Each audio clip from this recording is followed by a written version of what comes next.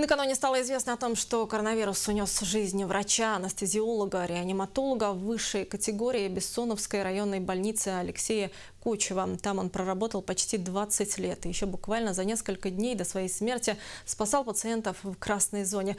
В областной клинической больнице имени Бурденко вновь вынуждены увеличивать количество инфекционных коек. Дополнительно развернуто еще 170. Меры вынуждены в связи с ростом числа пациентов с коронавирусом. На настоящий момент, э, исходя из э, мощности нашей больницы по коронавирусным пациентам, это вот на настоящий момент мы считаем максимум. Внутри больницы перепрофилировали э, определенные профили, которые у нас на настоящий момент были. А плановая помощь у нас частично осталась по тем профилям, по которым оказываем помощь только мы. То есть я имею в виду ревматологическую помощь, гастроэнтерологическую помощь, нефрологическую помощь. Эти профили мы оставили челюстно-лицевая хирургия, частично травматология.